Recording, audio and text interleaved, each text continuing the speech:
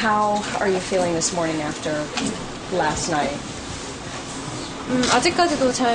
I still can't believe it. Even now, I think about last night's performance when I have a moment to myself. Looking at this medal, I'm wondering if this medal is really mine. What does it mean to you to have won Korea's first ever gold medal in figure skating? I mean, this is an achievement that your whole country is incredibly proud of. I faced the Olympics hoping that I would be the first Korean figure skater to win a medal.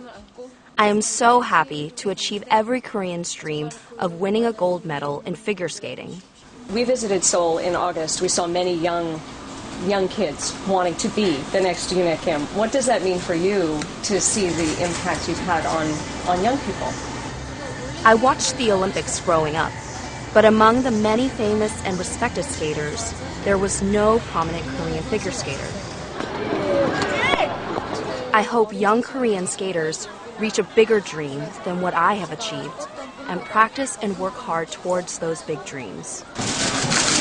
What will you do now? Do you know? Do, you, will you continue to skate? Because I have to participate in the World Figure Skating Championship in March, I'm going to enjoy this moment of happiness and then begin practicing.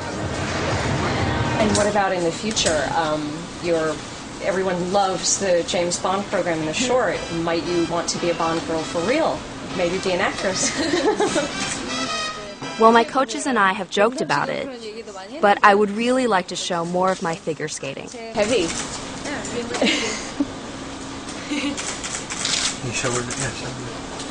that it's beautiful, though.